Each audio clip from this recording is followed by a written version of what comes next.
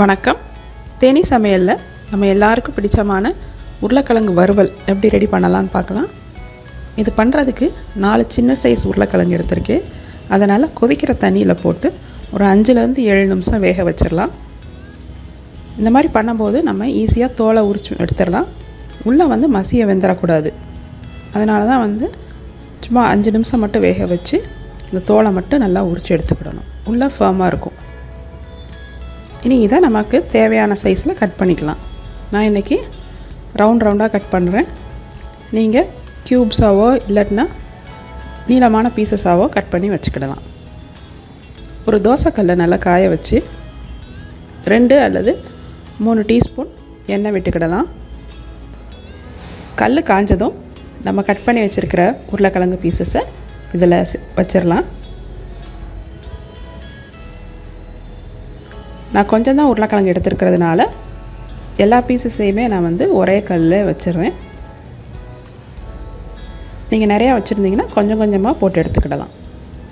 அப்பப்போ உருளைக்கிழங்கு இந்த மாதிரி பரட்டி போடணும். ஃப்ளேம் ரொம்ப ஹையில் இல்லாமல் மீடியமாக வச்சுக்கிடணும். இந்த மாதிரி செய்யும்போது அந்த எட்ஜஸ்லாம் வந்து கலர் மாறி வரும். உருளைக்கிழங்கும் அதே சமயம் வெந்துடும் மேற்கொண்டு நம்ம வறுக்கும் பொழுது உடையாமல் இருக்கும். அதனால தான் நம்ம இப்போ எண்ணெயில் போட்டு இந்த மாதிரி டாஸ் பண்ணுறோம்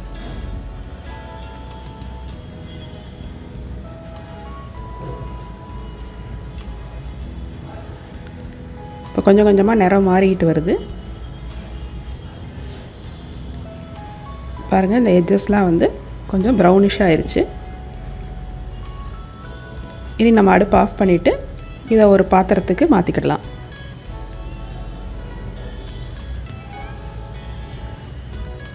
இதை நான் ஒரு பவுலில் ட்ரான்ஸ்ஃபர் பண்ணிக்கிறேன். இனி நம்ம தேவையான மசாலா எல்லாத்தையும் இதில் நம்ம சேர்த்துடலாம்.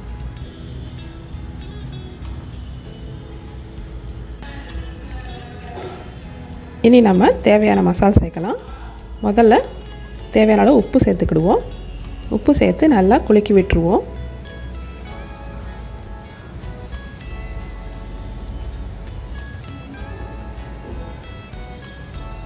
அதுக்கப்புறமா கொஞ்சமாக மஞ்சத்தூள் தேவையான அளவு மிளகாய்த்தூள் ஒரு அரை டீஸ்பூன் கொத்தமல்லி பொடி அரை டீஸ்பூன் சீரகப்பொடி இதை நல்லா மிக்ஸ் பண்ணி விட்டுருவோம்.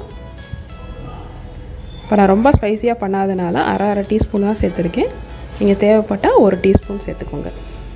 இதோட கொஞ்சம் கரம் மசாலாவும் சேர்த்துக்கிடலாம். இனி ஒரு கடாயில் ஒரே ஒரு டேபிள் ஸ்பூன் எண்ணெய் விட்டுருக்கேன். எண்ணெய் காஞ்சதும் கடுகு உளுந்தம்பருப்பு கருவேப்பிலை. இது மூணையும் நம்ம சேர்த்துக்கலாம். உளுந்து செவந்ததும் கருவேப்பிலை ஆட் பண்ணிக்கிறேன்.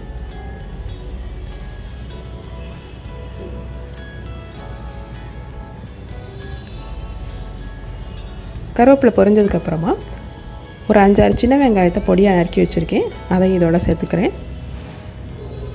வெங்காயத்தை லேசாக வதக்கி விட்டுருவோம். ரொம்ப வதங்கணும்னு அவசியம் இல்லை.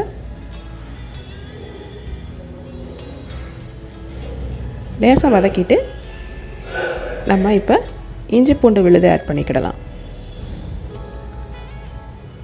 நான் அரை டீஸ்பூன் இஞ்சி பூண்டு விழுது ஆட் பண்ணியிருக்கேன். நீங்கள் இன்னும் ஸ்பைஸியாக வேணும்னா ஒரு டீஸ்பூன் ஆட் பண்ணலாம். இனி நம்ம கலந்து வச்சுருக்கிற அந்த உருளைக்கிழங்கை இதோட சேர்த்துக்கிடலாம்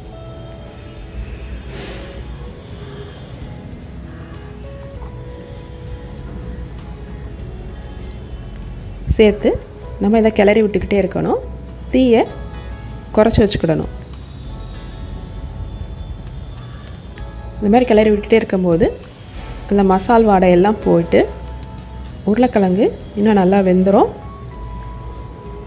உடையாமல் இருக்கும். அதே சமயம் நல்லா கிறிஸ்பியாக மாறிக்கிட்டே வரும். நமக்கு தேவையான பதம் வந்ததும் நம்ம அடுப்பை ஆஃப் பண்ணிக்கிடலாம்.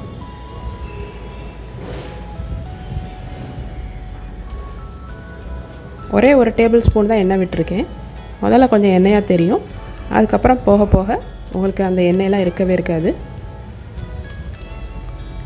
இந்த மாதிரி நல்லா கிறிஸ்பியாக மாறிக்கிட்டே வரும். நல்லா கிறிஸ்பியாக வந்ததும் நீங்கள் அடுப்பு ஆஃப் பண்ணிடலாம். அந்த வெங்காயம்லாம் நல்லா சுருளை வதங்கிடும் அப்போ உங்களுக்கு இன்னும் கொஞ்சம் நல்லா டேஸ்ட் கொடுக்கும். இதே மாதிரி உருளைக்கிழங்கு வறுவல் நீங்கள் செஞ்சு பார்த்து உங்கள் கமெண்ட்ஸ் அனுப்புங்க. இந்த வீடியோ பிடிச்சிருந்தா லைக் பண்ணுங்கள் ஷேர் பண்ணுங்கள் மறக்காமல் சேனலுக்கு சப்ஸ்கிரைப் பண்ணுங்கள் தேங்க்யூ